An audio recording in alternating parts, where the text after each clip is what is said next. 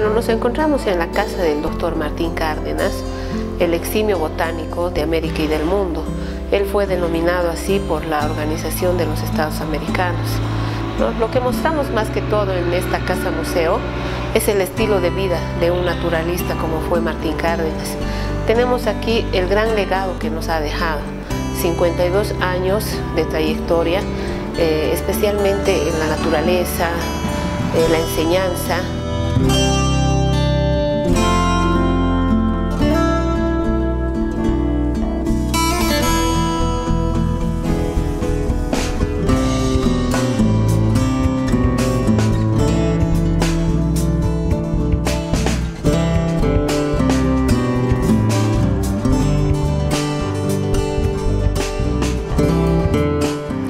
Eh, prácticamente tenemos acá todo lo que él tenía eh, en el estudio, en estudio científico.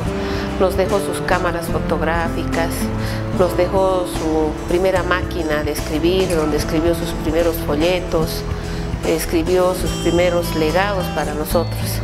Tenemos una biblioteca con más de 1550 libros eh, escritos por otros autores en diferentes idiomas, ya que él era políglota, hablaba siete idiomas. Algo que hay que resaltar de Martín Cárdenas es que era autodidacta.